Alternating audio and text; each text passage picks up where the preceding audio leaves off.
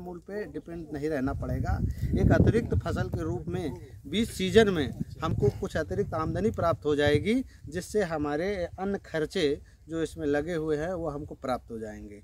और एक ये बहुत ही अच्छी विधि है जिसमें हम अच्छा। बीच की डेढ़ शुरू हुए मतलब लाइन को समाप्त करते हैं। इसकी मिट्टी को दोनों तरफ़ गन्ने में चढ़ा देते हैं और एक ये गहरी सी लाइन बनती है जो अभी इस बच्चे ने बनाई हुई है।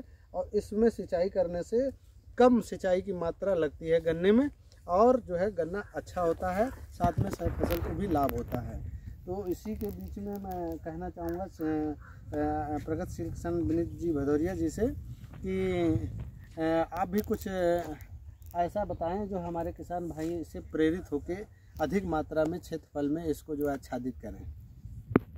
धन्यवाद सर। इसका सर मोटो यही है इस विधि का, मुख्य उद्देश्य यही है कि गेहूँ और सरसों किसान लेना चाहता है और वो ऐसी तकनीकी चाहता है जिससे गेहूँ और सरसों को भी गन्ने के साथ सफलतापूर्वक ले सके।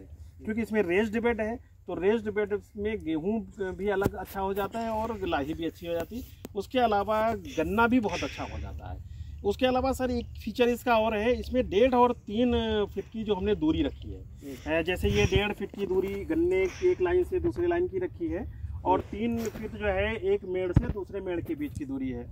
अब क्या करेंगे जब इसको हम फ़सल काटेंगे ये जो फ़सल काटेंगे सरसों की या गेहूँ की फ़सल काटने के तुरंत बाद हम क्या करेंगे पानी लगा करके और फिर जो ये उठी हुई मेड़ है यहाँ पर एक ट्रेंच ओपनर जो पहले चला था चौड़ी फाल वाला वो एक ट्रेंच ओपनर है मेरे पास तो उस ट्रेंच ओपनर को इससे इसमें लगा करके और इसकी मिट्टी जो हम गन्ने की लाइनों पे पलट देते हैं। जिससे क्या है कि फिर गन्ने की लाइनों में यहाँ मेड़ बन जाएगी वो यहाँ मेड़ बन जाएगी और वहाँ नाली हो जाएगी। तो यहाँ नाली में पानी हम चलाएँगे उसके बाद गन्ना हमारा मेड़ पे हो जाए। तो हमारी तुरंत मिट्टी भी चढ़ जाती है। अगर हम डेढ़ तीन फीट से अगर हम दूरी ज़्यादा रखते हैं जैसे लोकेश सर ने भी कहा था लोकेश राणा जी ने कि चार फीट की दूरी रखी है। तो चार फीट की दूरी पे फिर हम ये प्रक्रिया नहीं कर पाएँगे। मिट्टी चढ़ाने वाली प्रक्रिया हमारी पूरी नहीं हो पाएगी। तो मैं एक आइडियल दूरी हमने इसको घोषित कर दिया है। डेढ़ तीन फीट ही दूरी हमने इस टेक्नोलॉजी में रिकमेंड किया है। मतलब सभी फीचर्स फुल रिकमेंडेड और फुल अप्रूव्ड कर दिया है। क्योंकि हम उस पर पूरी तरीके से कॉन्फिडेंट हो गए हैं। अच्छा कितने क्षेत्र में इसको कर रहे हैं अभी?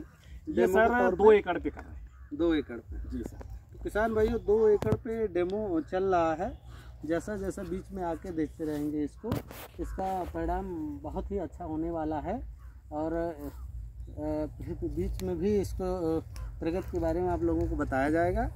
जी बहुत बहुत धन्यवाद। धन्यवाद सर। आप लोग आए आप सी डी आई साहब हैं। ये हमारे